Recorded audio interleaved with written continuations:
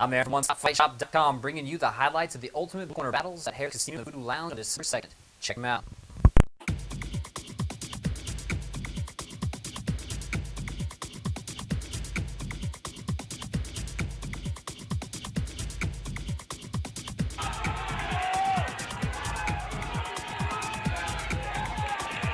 Uh, my name is Garrett Hart, uh, Grindhouse MMA, uh, Lee Summit. First round uh, TKO, just uh, before the bell, five seconds. Had uh, got his back and just some ground and pound from there. That's how it went. Went, went pretty smooth tonight.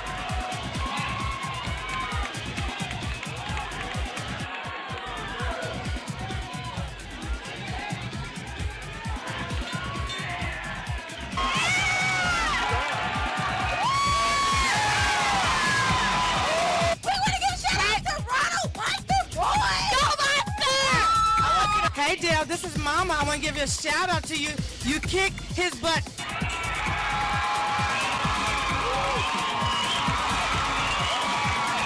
My name is Ronald Monster Boyd. Uh, pretty good fight tonight. I did fight a, gra- uh, a grappler, which is you know a wrestler tonight. Fight went pretty good. I was hoping to keep the fight standing up, so I could knock him out, but the fight ended up going to the ground, and I ended up beating him at his own game, which is the ground. And I, I ended the fight in the guillotine tonight.